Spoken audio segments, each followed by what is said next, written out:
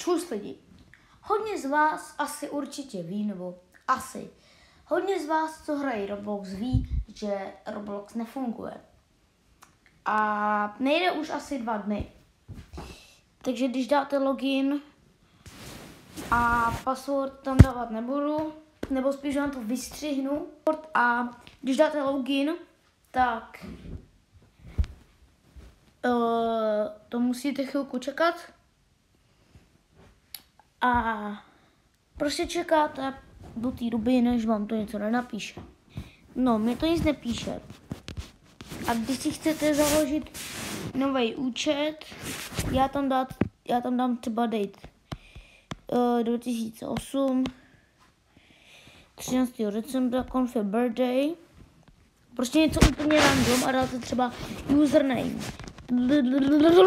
Nic tam prostě random naklikám a password si dáte. Nebudu prostě něco random tam naklikám.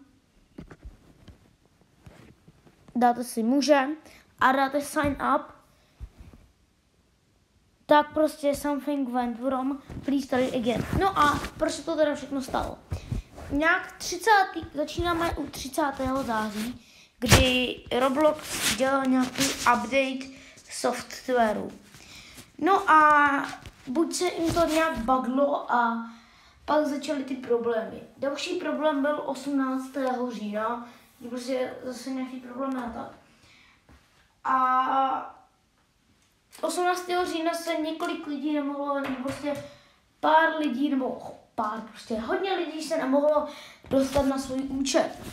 Další problém je 29. října, kdy Roblox kompletně se prostě to a když se lidi chtěli udělat ten nový účet, tak to jim tam právě lezlo to something when wrong please try again.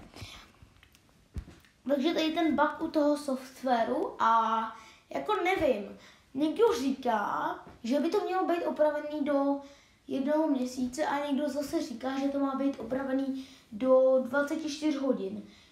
Nic se neví, ale možná, že to bude do těch 24 hodin, protože jakoby je to už měsíc. Takže tak, no nicméně tím bych ukončila se tady to video. Chtěl jsem vám k tomu jenom něco říct, jaký to je a prostě něco k tomu a informace, takže užijte si Halloween a zatím ahoj.